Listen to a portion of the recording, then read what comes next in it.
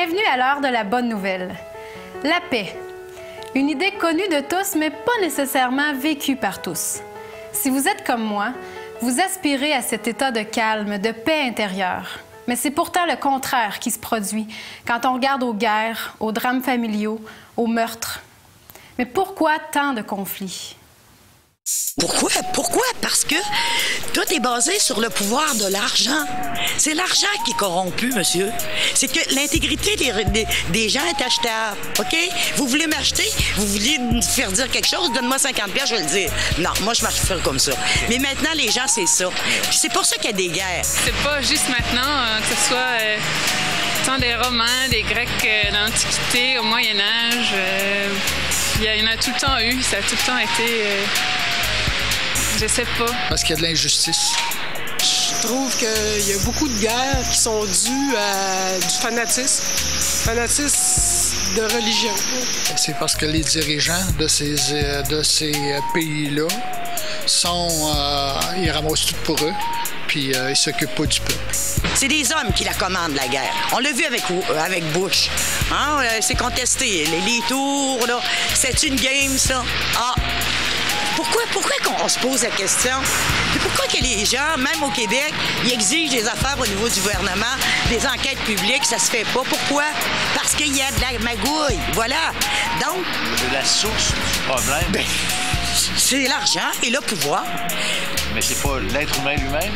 Ben, l'être humain qui est corrompu, oui, par l'argent. L'être humain qui est corrompu par l'argent, ça lui donne du pouvoir. Mais ça, ça dure juste un temps. Jusqu'à temps qu'il se fasse prendre, comme la croix, là, puis on le met en prison, pour ça, il ressort. Bonjour François. Bonjour Valérie. Euh, les réponses des gens ne me surprennent pas vraiment parce que c'est vrai qu'on est porté à constamment blâmer le gouvernement ou ceux qui sont en position d'autorité pour expliquer les nombreux conflits qu'il y a dans le monde.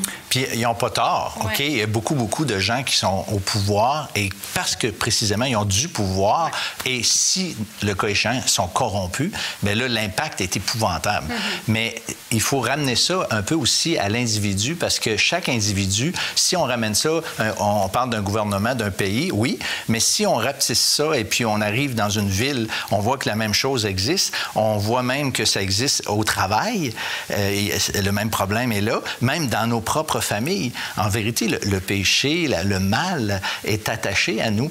Et avant de, parler avec nos relations avec les autres, je pense qu'il faut d'abord être en paix avec nous-mêmes peut-être, mais surtout être en paix avec Dieu. Et puis, à un moment donné, j'ai eu une belle, une belle illustration que j'ai entendue. Euh, il y avait un concours en relation, euh, il fallait exprimer la paix avec une peinture ou une photo. Et puis là, il y en a qui avaient amené des choses, euh, un lac là où c'est un calme, où c'est un vrai miroir. Puis euh, c'était wow, quel, quel calme, la paix, c'était bien. Et puis il y avait toutes sortes de photos comme ça, puis de peintures. Mais il y en a une qui c'était une chute qui brassait énormément.